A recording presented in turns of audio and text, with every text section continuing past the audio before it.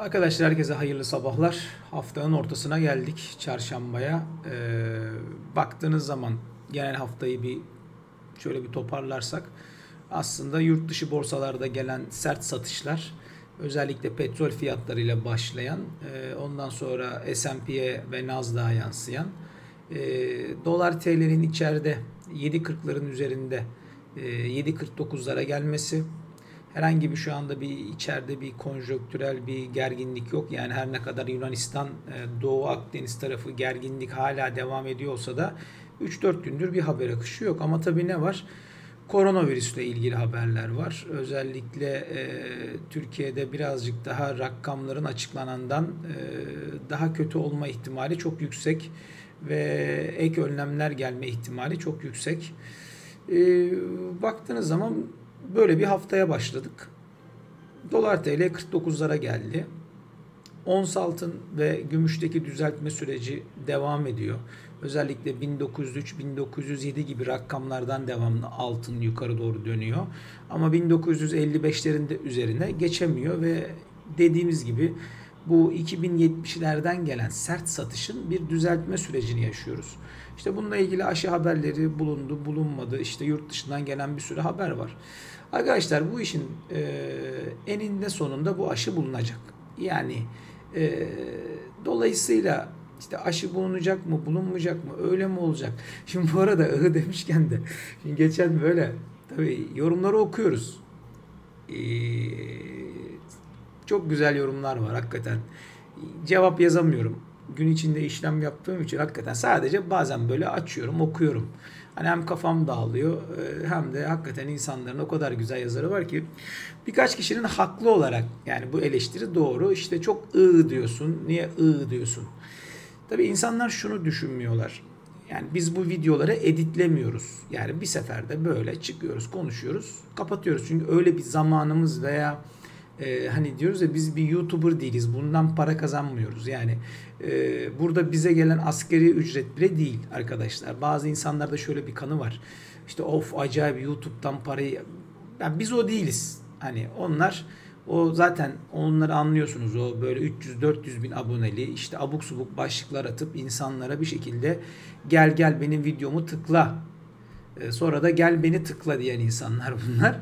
E, ama e, şimdi bizim burada ığlama sebebimiz şu. Birkaç kardeşimiz de cevabını yazıyor gerçi.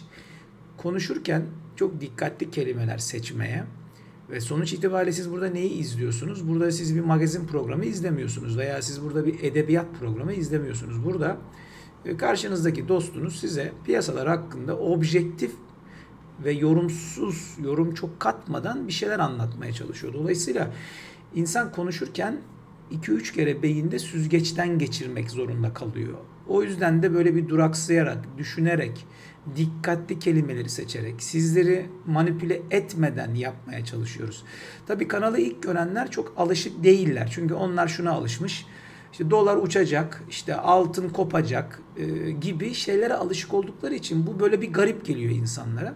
Ama alışacaksınız. Yani e, ya alışacaksınız ya alışacaksınız. Çünkü öbür şeyin sonu e, her zaman hüsran.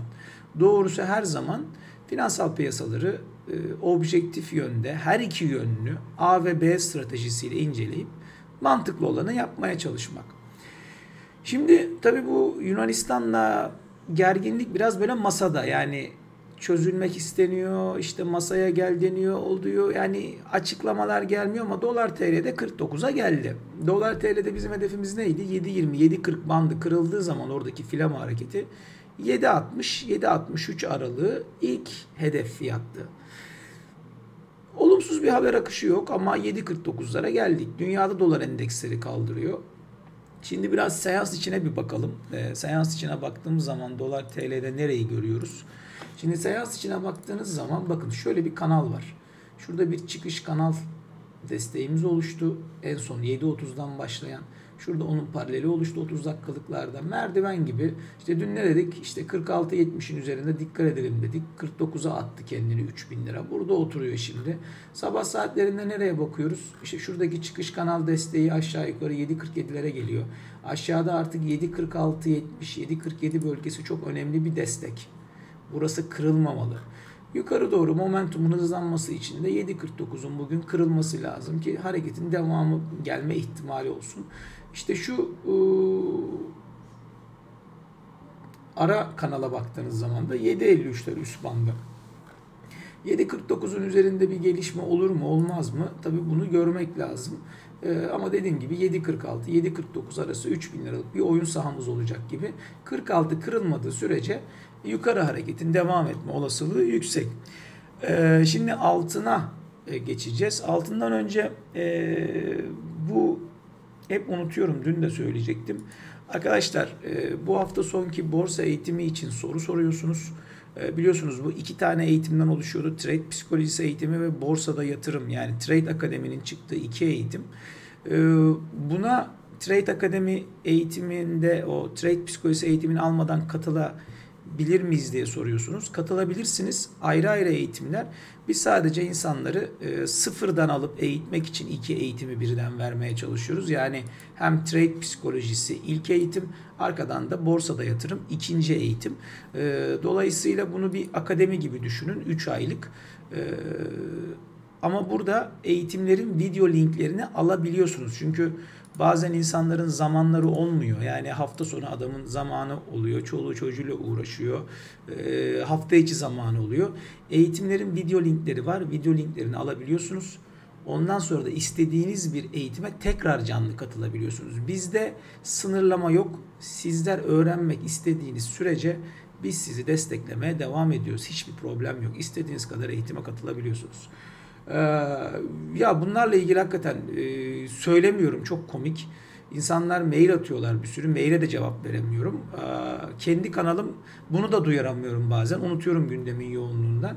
Ama hakikaten sağ olun çok fazla ilginiz var. Ama hakikaten cevap veremiyorum. Kusura da bakmayın.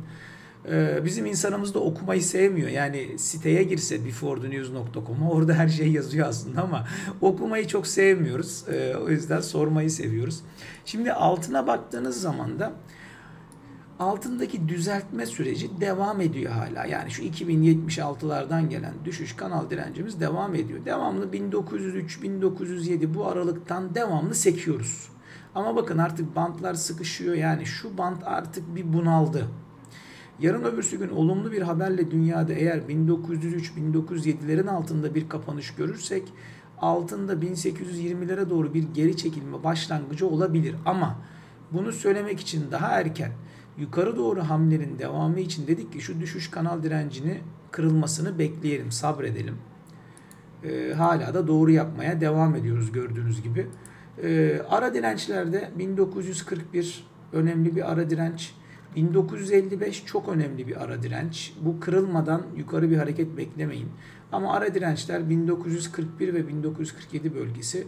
Ara desteklerde bugün 1923 ve esas önemli olan bölgeler şu 1906 bölgeleri. Ee, dolayısıyla arkadaşlar toparlarsak eğer altın ve gümüşteki düzeltme süreci devam ediyor. Gelebilecek haber akışlarına göre buradaki sıkışma her iki yöne de kırılabilir. Yani e, bu tekrardan illa yukarı gidecek diye bir şey yok. 1903'ler, 1907'ler e, kırılıp bir anda kendimizi 1800'lerde de bulabiliriz bir aşı haberiyle. Çünkü devamlı bununla ilgili gelişme var. E, Dolar TL yolculuğuna devam ediyor. Ee, tabii ki 49'lara geldik. Tabii burada gelebilecek herhangi bir olumlu gelişme yani işte atıyorum Yunanistan'da masaya oturma, yumuşama Doğu Akdeniz'de ve tabii ki bunlar dolar TL'nin geri çekilmesini sağlar. Ama gelebilecek en ufak olumsuz haber tepkiye daha hazırlıklıyız. Yani yukarı doğru daha istekliyiz. En azından 60-63 bandına doğru bu hareket bitirecek gibi sanki hareketini. Ama tabii şimdi bugün geldi bir tane olumlu haber. E tabii ki o zaman ne olacak? E, aşağıya doğru geri çekilmeler olacak. Yani ne olacak burası? İşte nerede? 7.46-60 e, ve 7.45-20 iki tane aşağıda önemli destek bölgesi. E, hani buraları da takip ediyor olacağız. Bakın bu yaşayan bir şey olduğu için gelebilecek her türlü haber akışına göre de reaksiyon veren bir şey. Yani hani burada işte bizim sabahleyin arkadaşlar bu 7.60 65'e gidecek.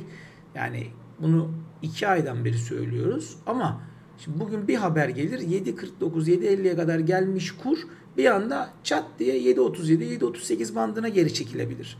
Bunlar çok normal şeyler ve gündeme göre de değişebilecek bir şeyler. Ama yine söylüyorum orta vadede e, ne yazık ki dolar TL'nin e, bu sene sonuna kadar dünkü canlı yayında da anlattım.